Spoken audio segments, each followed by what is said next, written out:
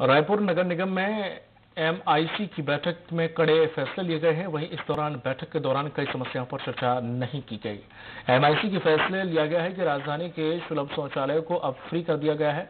नगर निगम के चपरासियों का प्रमोशन किया गया। तृतीय श्रेणी में नौकरी निकाली जाएगी और अवैध नालों को वैध करने के लिए लगभग सत्तर हज़ार नल कनेक्शन लगाए जाएँगे। साथ ही जीआईएस सर्वे के बाद हर घर को यूनिक आईडी नंबर दी जाएगी। इस दौरान महापौर प्रमोद दुबे से खास बातचीत की हमारे स्वराज संवाददाता सत्या राजपूत ने। लंबे समय बाद नगर पालिका निगम रायपुर में एमआईसी की बैठक हुई है। इस बैठक के क्या कुछ एजेंडे थे और क्या कुछ प्रस्तावित हुए हैं? इस मुद्दे पर चर्चा के लिए हमारे साथ महापौर प्रमोद दुबे जी हैं। इनसे जानते हैं।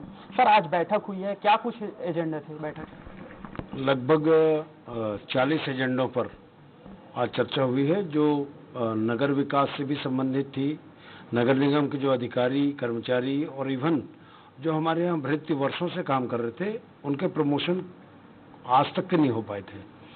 उनको भी जो पढ़े लिखे हैं, उनको प्रमोट करने का हमने एमआईसी में निर्णय लिया है।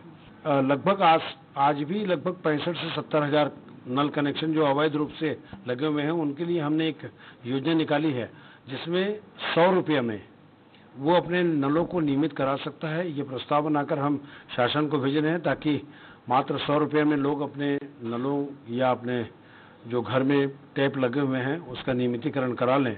बाकी के जो टैक्स हैं, वो रेगुलर उसको पटाते रहे।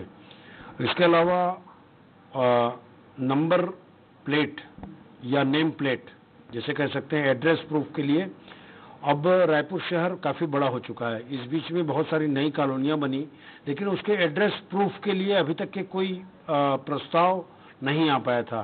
नई नई कॉलोनियों में लोग रात रात को भटकते हैं। इसके लिए हमने एक निराकरण किया कि सभी मकानों के प्रॉपर मकान नंबर होंगे। उसमें उसका एड्रेस प्रूफ होगा। उस मकान मालिक के नेम प्लेट भी बनाए जाएँगे। उसके मोबाइल नंबर भी अंकित होंगे। और जीआईएस बेस्ड जो सर्वे हमने कराया है, उसके रिफॉर्म्स भी उस नंबर प्लेट में लिखे होंगे, अंकित होंगे, ताकि लोगों को ये सर्च हो जाए कि किसका घर कहाँ पर है। तो ये एक बड़ा निर्णय हम लोगों ने लिया है। इसके अलावा और भी जो 300 प्रकरण जो गरीबों के थे उनको पेंशन देने के लिए हमने लिखा है। इसके अलावा फ़िल्टर प्लांट को अपग्रेड करने के लिए जो नई मशीनें जो पुरानी मशीनें थी वो 240 किलो वाट की थी। वो पानी आ, कम खींच पाती थी। उसके बदले में हम 360 केवी का पावर पंप लगाने का निर्णय लिया है। 80 एमएलडी के एक नए प्लांट बनाकर उसको अपग्रेड करने का भी निर्णय इस एमआईसी की बैठक में लिया गया।